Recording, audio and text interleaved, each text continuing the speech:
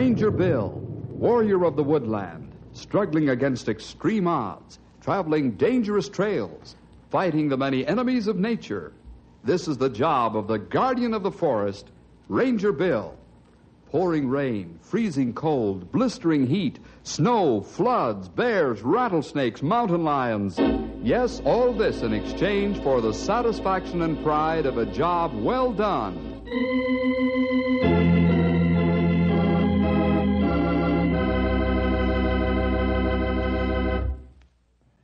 You know, I often wonder why folks can't learn by other people's experience. But I guess they never will. However, I think there's a bigger human failing, which probably does more damage in the long run, and it's the deadly practice of procrastination. Putting things off and never getting around to them. Then, when it's too late to do anything about it, those who procrastinated are sorry.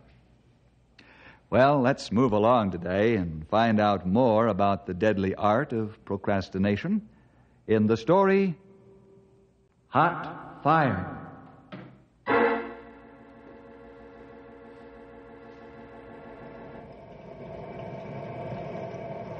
Boy, we sure have been getting a good amount of rain this spring. Right, and we need it too. Some places not too far from us haven't had rain like this for five years. Yeah, I know it's been a long time. We've had some good drizzling rains, too. Yeah, those are the kind that really count, Sonny. The slow, easy kind of rain. Soaks way down into the ground, and there's hardly any runoff. Ah, this most beautiful spring I've seen in many years. Everything brilliant green. I remember several years ago when everything was a brilliant brown in the spring. You didn't have enough snow during the winter to put in your ear, and the spring was even drier. Yes, sir, if we could have had some of this rain then, it would have saved a lot of timber. Ah, that year we had terrible forest fire in spring. First time in many years we have forest fire in spring. Yeah, it sure was, Grey Wolf. It was four years ago, to be exact, that we had the fire. The big damage was caused by procrastination, mostly. I remember talking to Stan Woods out at the dynamite plant two years before the fire. Hello, Bill. Oh, hi, Stan. Uh, can we go outside where it's quiet enough to talk? Sure, right out this door. Okay.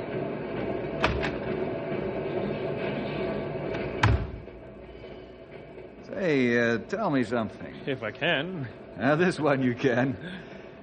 I saw you enter this building as I drove up.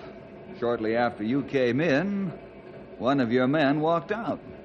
When I came in, another man came out right away.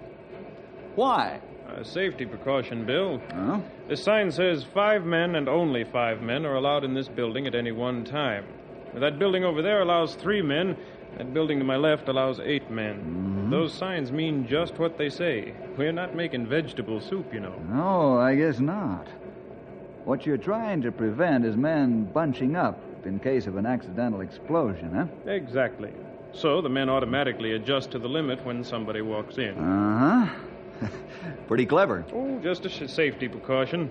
We have a lot of them here wooden wheels, wooden rails, special non sparking shoes. Mm-hmm. A lot of the equipment and machinery have plastic, wood, or rubber operating parts to reduce the danger of sparks. Very fine. You know, Stan, you take such great care of your immediate plant area. I know of one place where you've fallen down miserably on the safety angle. Where?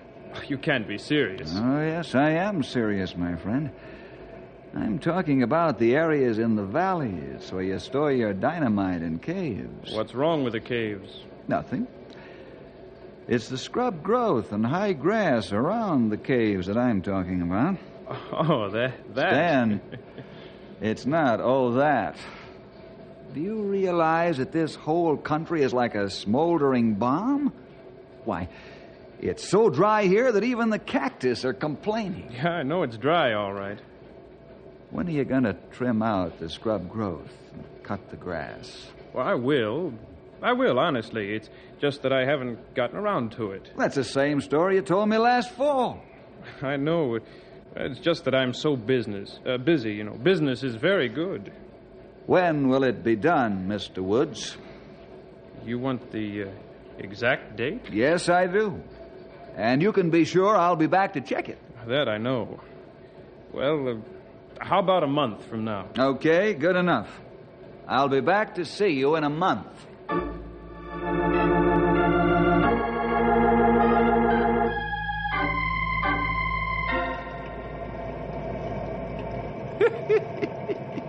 you should have saved your breath on Stan Wood, Sonny. He's without a doubt the world's greatest procrastinator. Huh? Uh, what kind of a disease is that, young feller? you call it right, old timer. It uh, is disease with some people. I'll say it is. Well, uh, what in the name of common sense is a procrastinator? A person who keeps putting things off. Oh, that's what it is, huh? it's a disease, all right, with Stan Woods. I'll say it is. Or I should say it was. Stan sure had to be cured the hard way.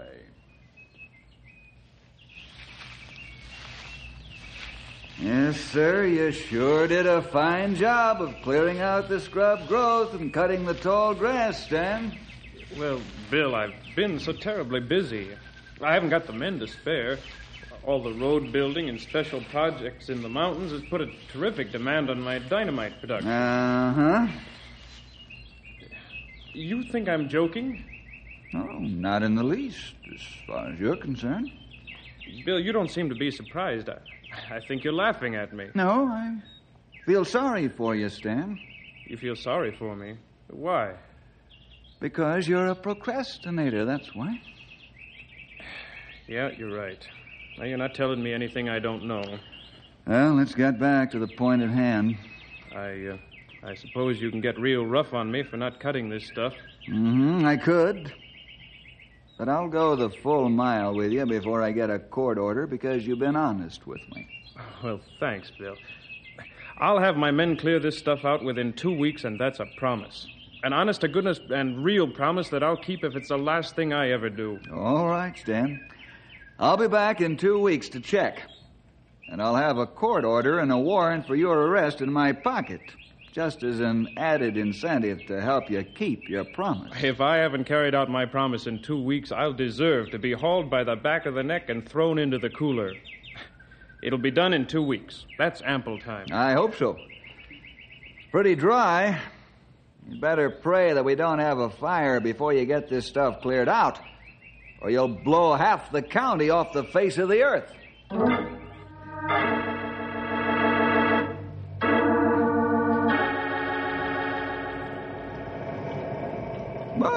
Sure was dry that year. Why, even a snake made a lot of racket crawling around because everything was bone dry. Stopper, you're joking. I ain't neither, young feller. The creeks were drying up and the rivers were low. Wasn't even a morning dew. Almost every growing thing except the largest trees were drooping. It was dry, real dry. Ah, that plenty right. Yes, I remember we had to put special protective covers over car and truck exhaust pipes just to avoid a backfire spark from getting out.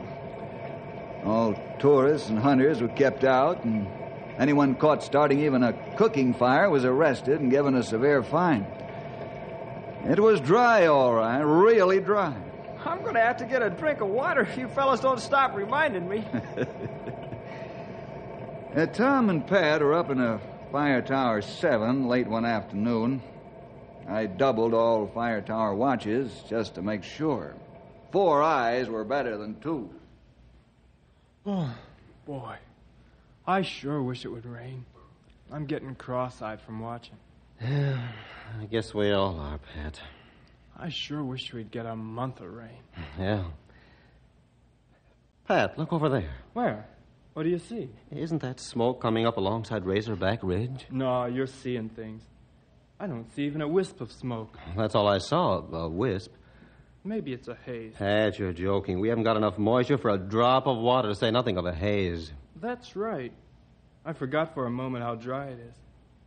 I see it. You're right. It is smoke. I'll run a fix on it. You call Bill.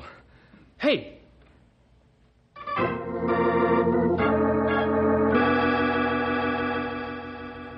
Right. Keep a close watch and retain a constant fix. Use your radio telephone setup to talk to me from here on out. Goodbye. fire? Yes. Henry, sound the alarm.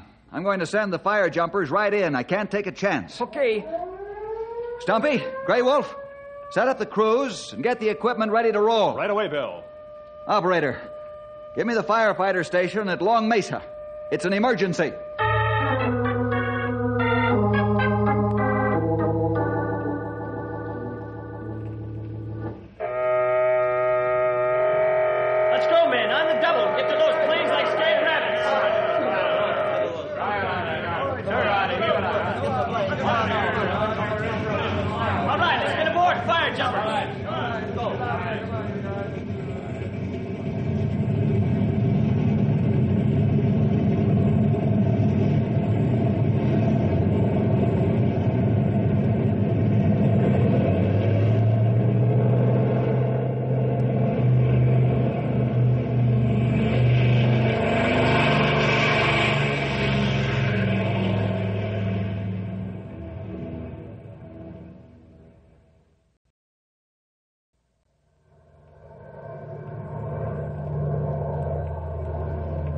Could be real nasty, Mike. And how? A real, real nasty one, Jack. Hey, there's the fire. Right. Tell the pilot we're going down in the first pass. No time to look it over. Bill's orders. Right. Hey, he's going down to make the first pass, Mike. Okay, boys, hook your chute straps to the wire and get ready to jump.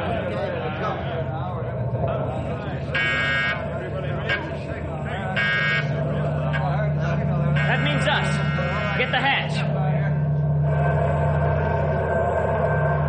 Here we go!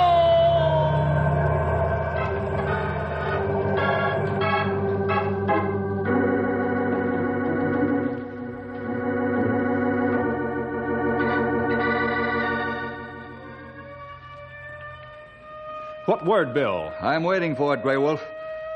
Are the ground crews ready? All set to go. Fine. Bill, you there? Go ahead, Tom. The fire's taking a two pronged attack. One heading along the foot of Razorback Ridge and the other north, northwest toward Knotty Pine. Are you sure of your readings now? Yeah. And from what we can see from the, this tower, it's really a nasty one. Okay, Tom. Keep me posted on the progress of the fire. Right, over and out. Uh, Tom, Yeah, Chief? have the fire jumpers arrived yet? Yeah, they jumped about five minutes ago. Okay. Over and out. Stumpy, right here, Sonny. Take your crews out North Highway and approach the fire from Old Coon Road. Start your backfire at Beaver Creek and take it from there. We're on our way. See you later. A Grey Wolf, Yes, Bill. take your crews out the Old Mill Road. Go as far as you can across the mesa with the trucks, and then go on foot. Hold back the prong running along the foot of the ridge, and backfire alongside it. You can't let that prong branch out, or we'll be in real trouble. Uh, I understand. You can't let that prong of fire get away, you understand? I got it, Bill. Bill, this is Mike. Go ahead, Mike. We've got a ground and full tree fire in our hands. It's wicked. That's what I was afraid of. The fire's making a two pronged attack.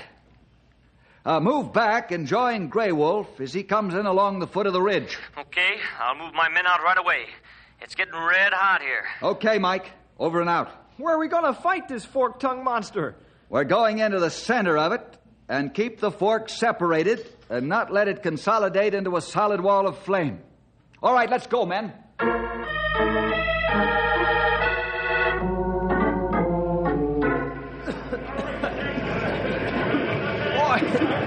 this is a rough one. I never felt the heat so bad as with this one. Yeah.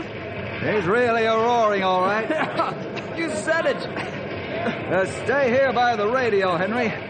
I'm going along the fighting line and see how the boys are making out. Okay, Bill.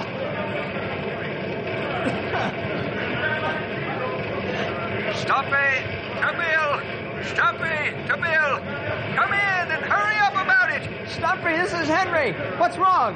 Everything. We can't hold this raging maniac. Get Bill. Okay, hold on a minute. I can't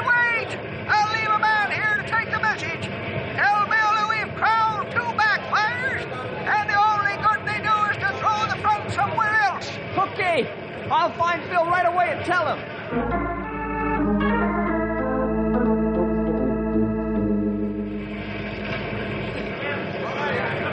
Tom, what do you see from the tower? Grey Wolf's holding fine along the foot of the ridge, but Stumpy is being pushed back and around. I saw him crown two backfires, but all that did is throw the fire front around to the west. The fire's now heading right for the dynamite factory. It holds its present course. And a liar. That's bad. Tom, you and Pat try and stay in the tower as long as you can, safely. Then get out. You're right in the path of the fire, as you can plainly see. I'll contact you again. Over and out. Now what? Listen carefully. First, call a copter for me. Then call Grey Wolf. Tell him to send Mike and his fire jumpers over to reinforce Stumpy. Also, as many of his own men as he thinks he can safely do without. I'm going to take as many men as we can spare here and send them to help Stumpy. Okay, Bill. Right away.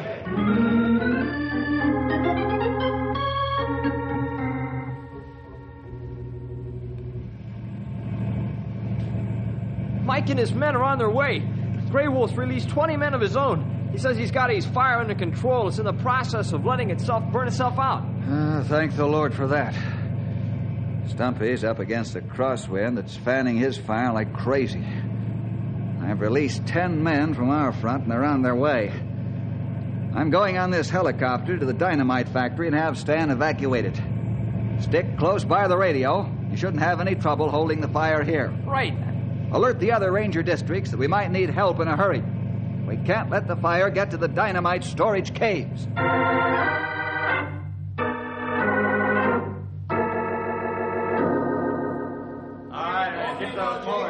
Bill, am I glad to see you? How's the fire? No good, Stan. You're going to have to evacuate your plant. Now? We're cutting the scrub and grass. It's too late for that, Stan. The fire's already across Beaver Creek. Well, that's only five miles away. That's right. I'll get your records and your men and scram. Okay. Hey, why can't my men and I join your firefighters? I don't want green men in this one. Thanks, anyhow. Now get along. Okay. All right, men, get back to the plant. Well, I, I guess my, my procrastination finally caught up with me, huh, Bill? Yes, Stan. We'll do all we can to save your plant. But I'm not going to endanger my men with those caves full of dynamite. Oh, that's all right. I'm insured for this. That's no consolation. Well, I've got to get back to the fire front. Now, please do as I say and pull out of here on the double.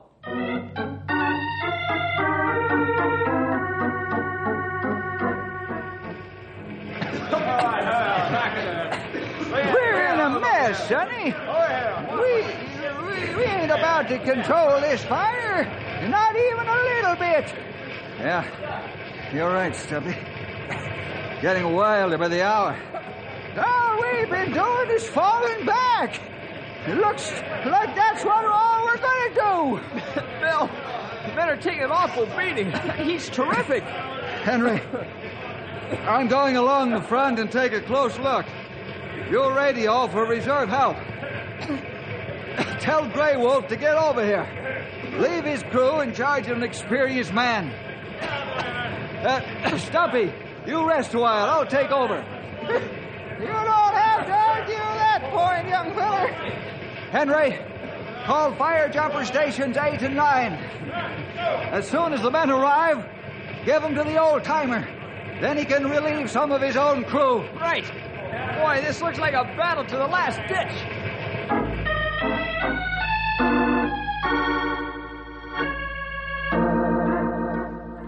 Attention all cars, attention all cars.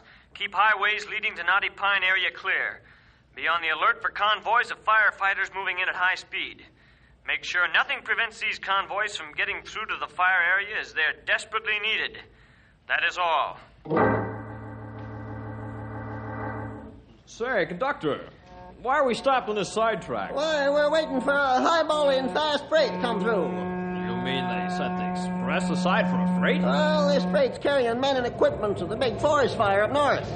They say it's the worst in years. Forest fire in spring? Yep, dry up there, mister. Mighty dry. There she goes. Well, I guess we got time to make the next sighting before another one comes along. Say, must really be some fire to move men and equipment like this.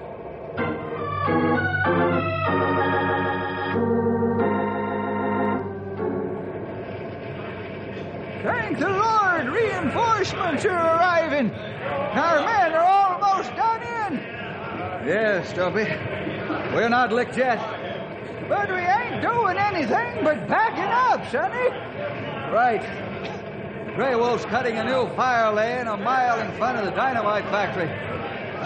He's got fresh men and equipment. We should deliver the knockout blow there. Yes, sir. That we should. You've given me new hope with those cheery words.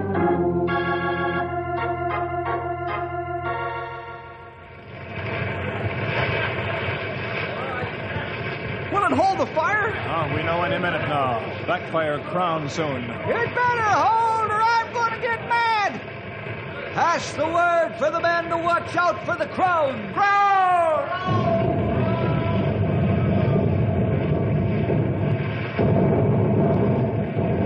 It's jumping the fire lane. The wind's too strong. Grey Wolf, stop it. Pull the men back. Keep them away from those dynamite storage caves. You said it. Let's go. Henry, call the Air Force Base and ask them to send bombers. I'll radio the bomb run position just before they arrive.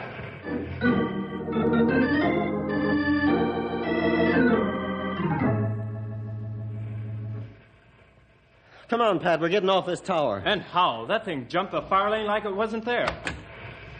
Hey, men! Who are you, mister, and what are you doing up here? I'm Stan Woods. You're the guy that owns the dynamite plant. Uh, that's right. Well, what are you doing up here? Bill won't let me fight with the ground crews, so I thought I could uh, maybe help up here. Oh, mister, you got holes in your head. We're leaving right now. Let's get down the ladder, but fast.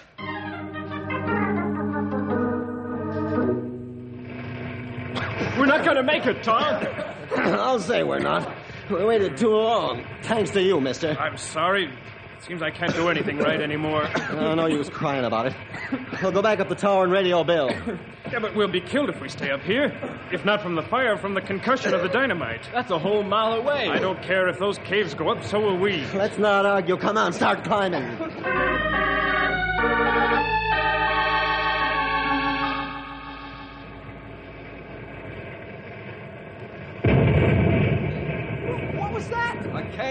Dynamite. It shook the earth like jelly. Bill, we better get out of here all together, or we won't Tom. be all together. Tom to Bill. Tom to Bill. Tom, are you still in the tower? And how? There's fire all around us, and it's hot up here. Why didn't you come down like I told you? Uh, we'd have made it just in time if Stan hadn't come up here. Oh, no, not him. In the flesh. All right. Keep calm and I'll get you off with a helicopter right now. Henry, get the airfield on the radio and direct them to Tower 5. We've got to get them off.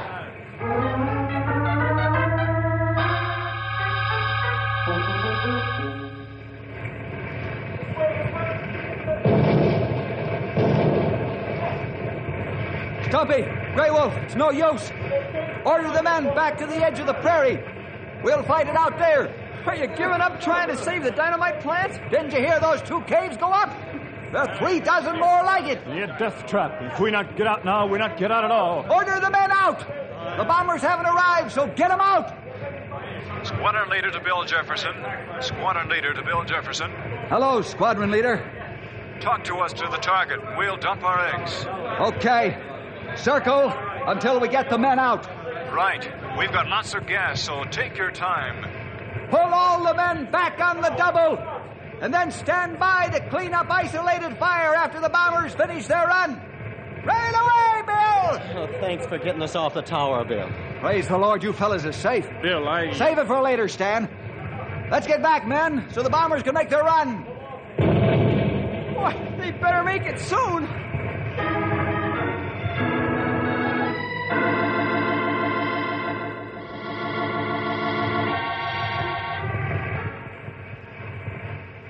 You see the target?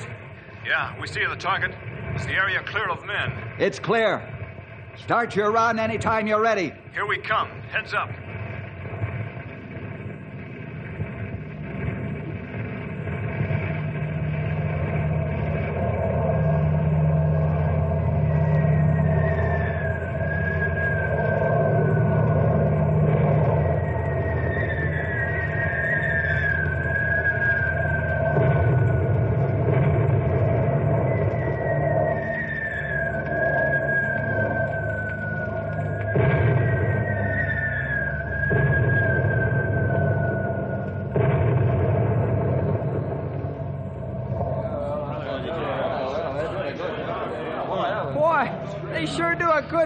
Job of throwing dirt all over the fire. Stumpy, Grey Wolf, let's get in there and put out the isolated pockets of fire.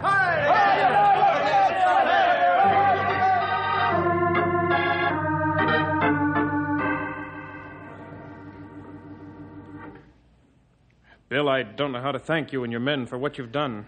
It's our job, Stan. Forget it. You only lost four caves of inventory. I know, Bill. I'm never going to procrastinate again. You better not, young feller. Next time it might cost you your life. If you'd cleaned up around those caves, the fire couldn't have burned in there like it did. I know that now, Stumpy. I've learned my lesson. I'll never put off until tomorrow what can be done today.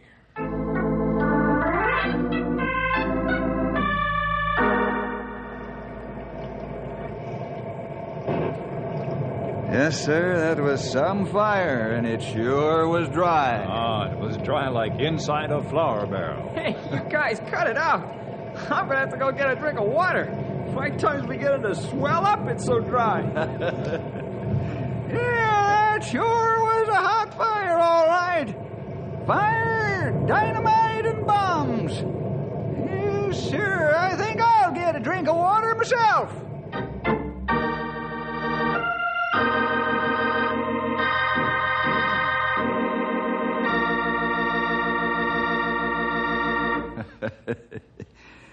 yes, the fellas can joke about the fire now, after it's all over.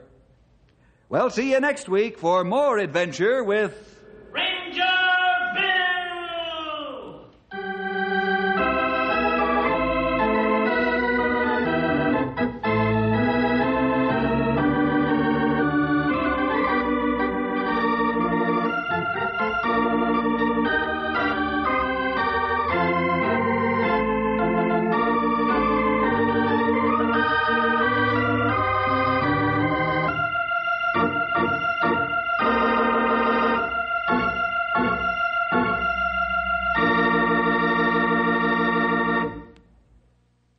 Again. Our program today gives me, Ranger Bill, just a little time to talk to you moms and dads about our adventure stories and why we're on the air. We all know that every time a boy or girl listens to one of our programs, he gets some impression of the Christian life and the character of the people involved. So we must be constantly alert to guard the image that's presented to make it realistic and truthful, neither setting up false ivory tower heroes for fellas and gals to aspire to, or creating the impression that Christianity is an impossible goal in this day and age. We also try to present Christians as people, something which they are. The faults of a Christian don't have to be glossed over. He's human too. So we try to present to you, the listener, a story that, from your point of view, is a factual photograph of a way of life, namely the Christian way, and showing individuals living, seeing, understanding this way of life, or maybe missing it completely. Let's all be honest before God so that truth can survive. And our young people will turn out to be the good citizens and real Christians that we want them to be.